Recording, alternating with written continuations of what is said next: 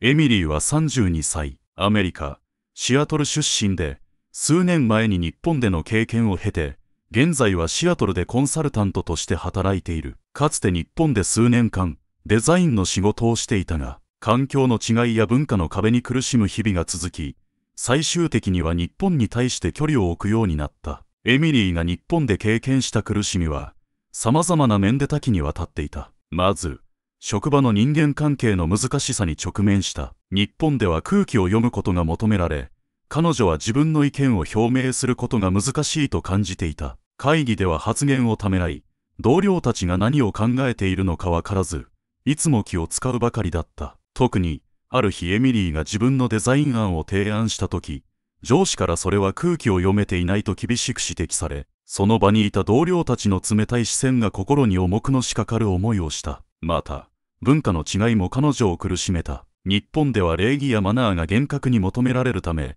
日常の小さなことにまで神経を使うことが多かった。例えば、仕事の後に同僚たちと居酒屋に行く際、彼女は日本の酒文化や食文化に戸惑いながらも参加したが、時にはこれが日本流だと言われることに対して抵抗感を覚えてしまうこともあった。そうした苦しみの中で、エミリーは徐々に孤独感を深めていき、いつの間にか日本に対するネガティブな感情を抱くようになった。シアトルに帰った後、エミリーはコンサルタントとして働いているが、同僚のサラとは親しい友人関係を築いている。サラはエミリーのことを理解し、支え合える存在であり、普段からランチを一緒にしたり、仕事の合間に雑談を楽しんだりしている。そんなサラがエミリーを心配して声をかけるのは、彼女が疲れていると感じたからだった。エミリー、最近少し元気がないみたいだけど、大丈夫。とサラが昼休みに声をかけると、エミリーは吹いている風を感じながら、まあ、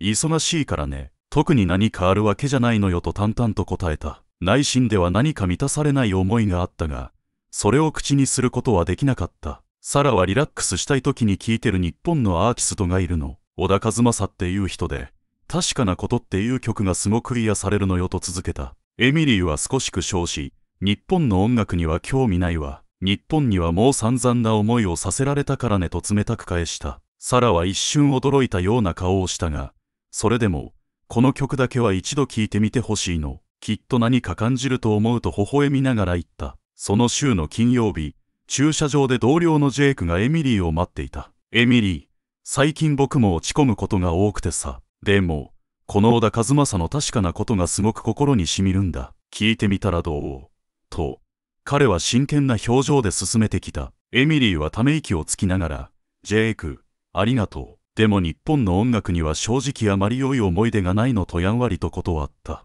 ジェイクもそっか。ごめんねと笑顔で見送ってくれた。それから2ヶ月が過ぎ、エミリーは仕事や生活のストレスに押しつぶされそうになっていた。次々と舞い込むプロジェクトに心が疲弊し、ふとした瞬間にサラやジェイクが勧めてくれた小田和正の確かなことを思い出した。彼女は小田和正。誰なんだ？この日本人は。と興味を抱き、スマホで調べてみることにした。インターネットで情報を調べると、小田和正が日本の音楽界で非常に高い評価を受けているシンガーソングライターであり、数々のヒット曲を持ち、多くの人々に愛されていることを知った。また、彼の歌詞には深いメッセージが込められており、愛や人生についての洞察が感じられることも分かった。特に確かなことという曲が、彼の代表作の一つであり、温かいメロディと共に聴く人の心に寄り添うような内容であることに気づき、少し興味を持った。その夜、エミリーはようやく確かなことを聞こうと思い立った。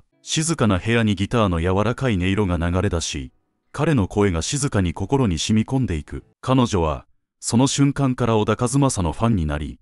他の曲も聴くようになった。日本の音楽が持つ深い魅力に気づき、これまでの苦い思い出が彼の音楽を通して癒されていくのを感じた。日本の曲ってこんなにも素晴らしいんだとつぶやきながら、エミリーは次第に日本に対する誤解が解け、日本の文化や音楽の素晴らしさを再認識していった。やっぱり、日本ってすごい国だわと微笑み、エミリーの心に新たな希望が芽生えた。